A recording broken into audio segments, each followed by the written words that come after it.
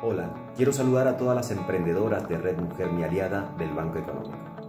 Quiero compartir con ustedes cinco consejos de cómo evaluar tu negocio en tiempos de COVID-19, con la idea de que esta crisis fue superada en el pasado y esta no será la excepción, pero debemos prepararnos y actuar.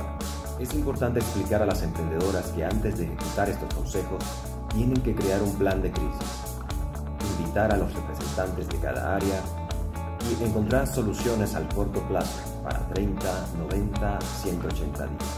Primero, pregúntate lo siguiente. ¿Cómo pueden afectar a mis empleados?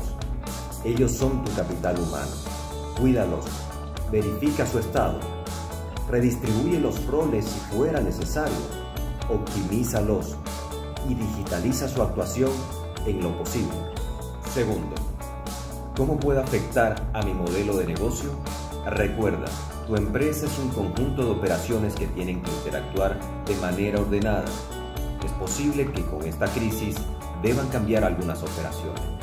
Por ejemplo, ventas, producción, logística.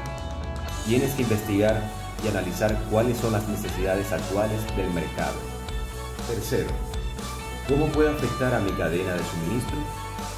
Recuerda que tu empresa consta de proveedores de productos y servicios tanto nacionales como internacionales, que debes categorizar por su nivel de importancia y encontrar soluciones a los obstáculos de su entrega.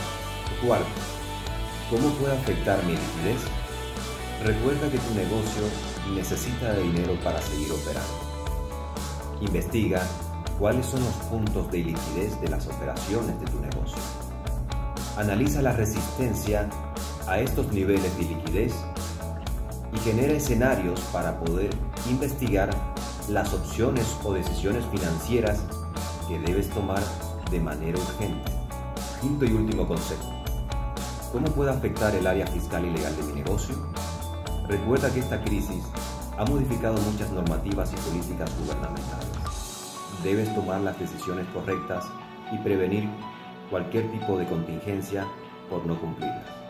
Espero que estos consejos les puedan servir para salir más fortalecidos de esta crisis y ayudar a otros emprendedores y así volver a levantar económicamente a Bolivia.